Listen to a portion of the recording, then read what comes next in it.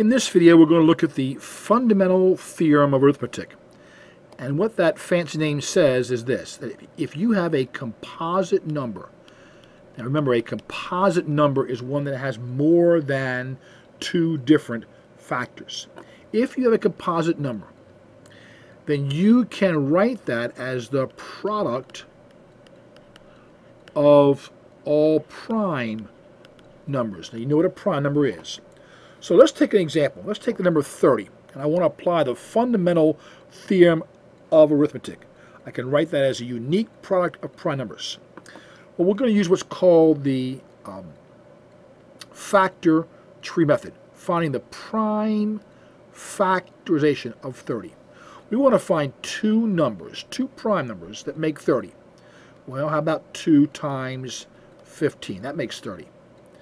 We want to keep doing this till all we have in our row is prime numbers. Well, 2 is prime, so we'll bring it down, but 15 is not. 15 is 5 times 3. Now, this row has all primes. We have now written 30 as a unique product of prime numbers. Now, most people would write this as 2 times 3 times 5 in the prime factorization form. But that's the fundamental theorem of arithmetic. Now, other people might do this same problem, not quite with a tree like we did. They may just do it by some division problems. We're going to divide this by 2 first off. And we do that, we get 15. We can't divide by 2 anymore, so we'll take the next prime number, which is 3. Divide by that, we're going to get 5.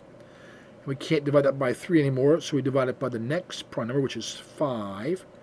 And we end up with uh, 1. When we get to this stage, then here are our uh, prime numbers that make the product of 30. Let's look at another problem. Let's take 360, and we're going to use that last idea again. So we have 360. Now what's the first prime number? It is 2. So does 2 go into 360? Yes, it does.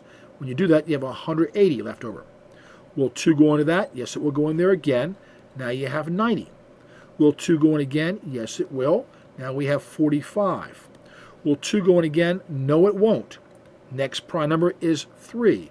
Will 3 go into that? Yes, it will. 15 times. Will 3 go into that? Yes, it will. 5 times. Will 3 go into that? No. Next prime number is 5. Will 5? Yes, it will. I get a 1. Here's my 1. So my product of prime numbers is the three twos, two threes, and a 5. If you multiply it together, you're going to get 360. And that's called the fundamental theorem of arithmetic using prime factorization to find the answer. I hope you have a very happy day and I hope it helps you a lot. As always, bye-bye.